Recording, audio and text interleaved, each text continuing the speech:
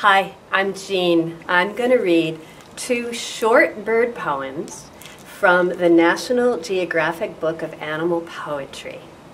The first one is a little haiku by J.W. Hackett, and the second one is called Arrivals by Ann Turner.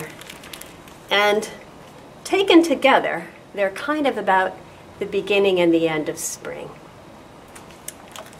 Haiku. A bitter morning. Sparrows sitting together without any necks.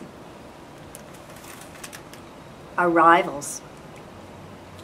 The swallows light on sloping wires.